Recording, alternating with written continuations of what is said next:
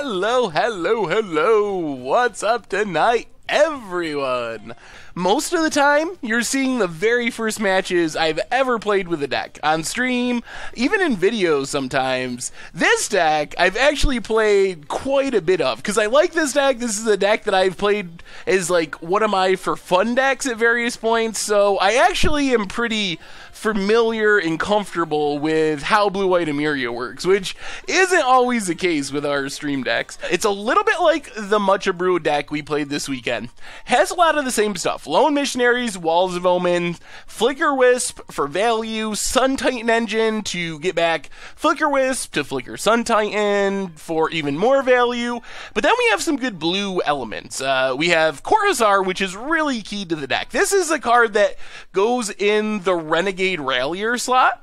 So we instead of hoping we have Revolt, hoping something of value died to get it back, Court Hussar just cycles through our deck. It's like an anticipate on a body, and we can even have it go to the graveyard if we don't spend um, white mana on it, which we can sometimes do. We have enough dual lands with our Hallowed Fountains and stuff that in the late game we can intentionally let it die, use it like a weird, expensive anticipate, and then get it back with Sun Titan. Uh, get it back with our Emeria and grind out value that way. Pilgrim's Eye, make sure we hit our land drops. Uh, new addition is Spreading Seas. Before we had the Blue Spell Bomb.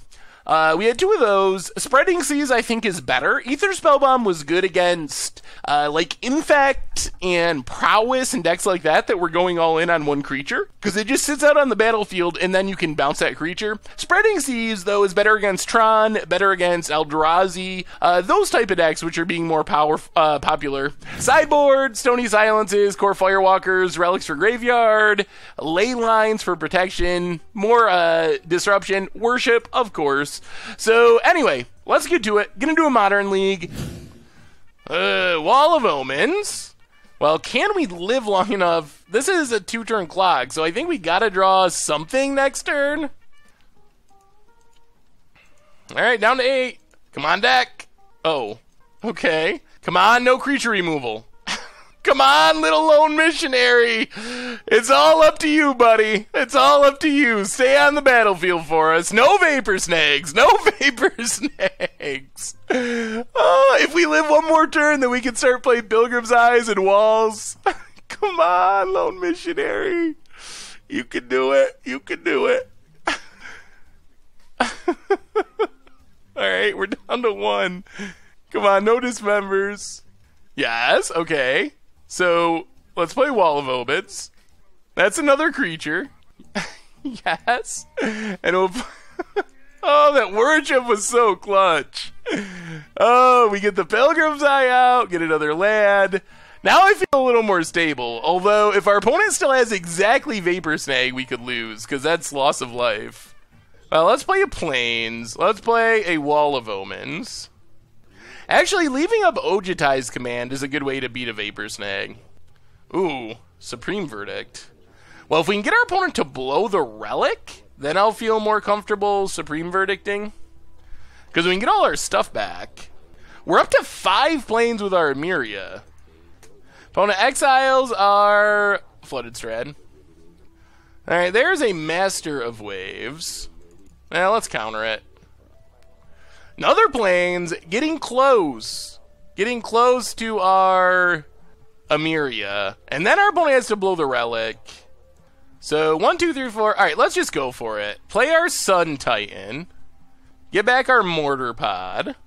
See if this lets our opponent makes our opponent Alright, Relic gone. That's fine. Hallowed Fountain, get in for one. That's actually really fine, because now we can just Supreme Verdict and then start getting everything back with Emeria. Although that is risky, because we don't have any creatures and they have a Vial, but we'll see. Alright, now we just want to start slamming stuff in there, because we actually want our stuff to die so we can get it back. So we're hoping they block Lone Missionary or whatever, because we'll have Emeria going. Yeah, worship just says if a creature, if you control a creature, damage that would reduce your life to less than one, reduces it to one instead. Well, that's Pilgrim's Eye. Do we even have plains left? We might have one. All right, get a plains, play a plains. Emeria active. So now we get to start getting our stuff back, and I don't think we can lose from here. And we gotta we gotta win. Oh well, this looks like the kind of hand we're looking for. Noble Hierarch for our opponent. Hallowed Fountain, go. Uh, I think the deck actually is good, but our performance tonight has only been middling, unfortunately. Is this going to be a Geist? Oh, really? Already? Of course. Alright, that's a Geist. I'll play for Flooded Strand, Crag Flooded Strand, get a Plains, play Wall of Omens, draw a card. Oh boy, so many paths in the Geist of St. Traft meta. Opponent plays land, cracks it, it's in 4 4 with the Geist, down to 15. Opponent passes. We do get a land, which is good. Well, let's Lone Missionary. Pass the turn. I'm feeling a collected company. Yup, there it is. Mausoleum Wanderer. Okay. Another Selfless Spirit. Good God. Holy. Alright, deck. We are going to need some good running here. Opponent attacks with the Geist. Well, Black Geist. Well, Path Selfless Spirit. Wow, opponent lets it go? Okay. Path Selfless Spirit. oh my goodness. We are so close. Oh. Do we just got a path right now? Hmm. Alright, alright. I think we're just gonna pass. I think this is I think this is fine. This also means if our opponent uh, has another Selfless Spirit, we don't just lose. Opponent goes full out attack. Well, we block Geist. Take eight. I think our opponent has Spell Queller. I think we got to go for it though. All right, you got a Spell Queller. Ooh, wow, no Spell Queller. Do you have a collected company? Question two. That would still be. Oh, no collected company either. Whoo! Are we stable? Did we get there? Wow! Qasali Pridemage, we can deal with that.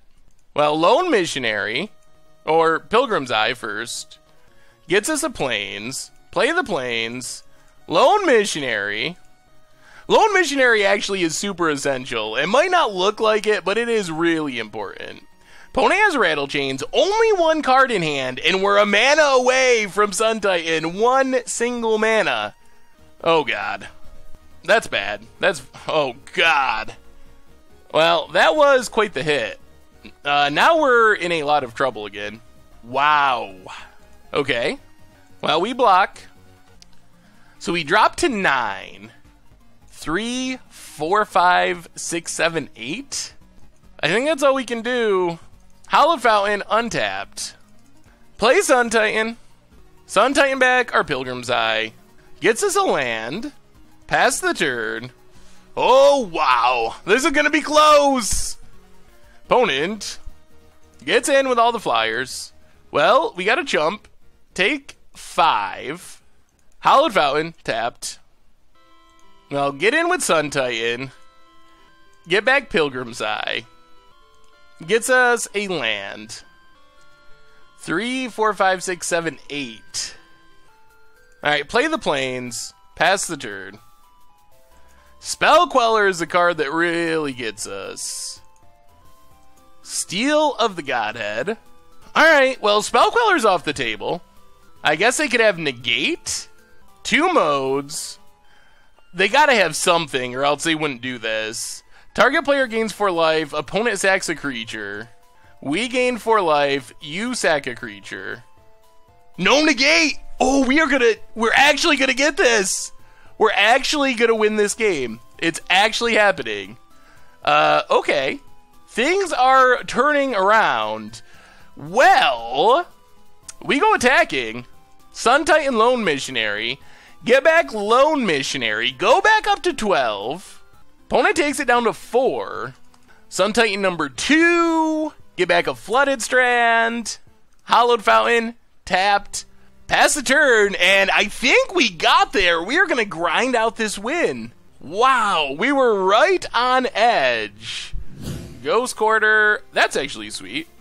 Ghost Quarter. Let's see how many non basics our opponent has. Oh! Strip Mine activated. we got the strip mine activated. Get back a ghost quarter, get back a pilgrim's eye. Oh, we are in strip mine mode. That's the best time with this deck. Once we get to the point where ghost quarter is strip mine, everything is usually pretty sweet. Gotcha. and our opponent scoops it up. Can't beat the strip mines. Can't beat them. We fell short of our treasure chest goal. Good news is, uh, we really only were beaten by Scapeshift. Yes, we lost to that deck, but that's a matchup that we uh, will win 70, 75% of the time. Like, that's a great matchup for us. We just mulled the four and then ran poor uh, in game two and then ran poorly in game three. Uh, in the Scapeshift matchup, I I'm coming around on the idea that surgical extraction is a good answer. So I think maybe surgicals in the sideboard over the relic of progenitus, and I think that would go a long way towards shaping up that matchup. You can check out all the old streams on the MTG Goldfish Replay YouTube channel. And of course, the normal YouTube will have a new Against Odds tomorrow. We had a Budget Magic next uh, last night, so make sure to check that out as well. And if you're looking for a way to support the stream and the channel and the site other than subscribing and big thanks to everyone that subbed tonight. There was a ton of subs. Thank you so much for that. Uh, but check out the merch page. Uh, anyway, everyone, thanks so much for hanging out. It was a lot of fun, and I will talk to you soon.